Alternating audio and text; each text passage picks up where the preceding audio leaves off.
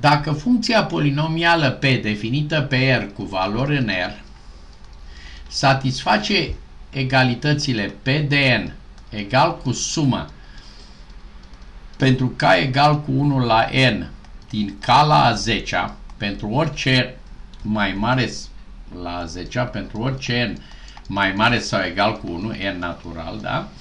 Atunci P de minus 2 cât este? Bun.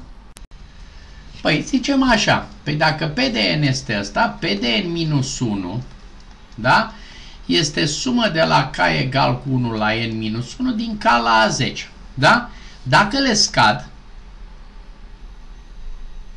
uh, stați să văd, uh, nu să le scad,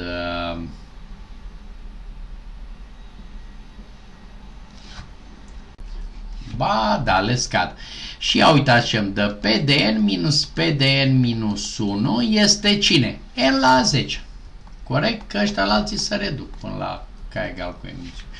Prin urmare, iată, avem relația P de n minus 1 egal cu P de n minus n la 10. Da?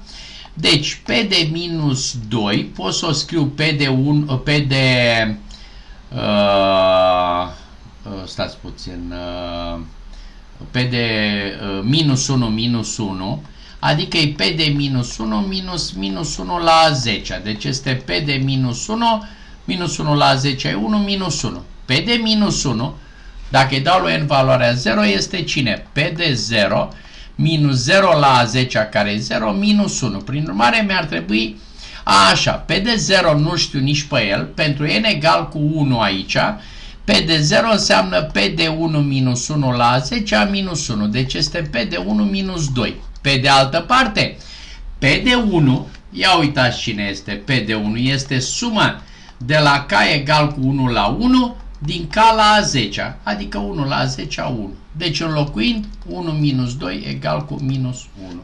Răspuns corect B.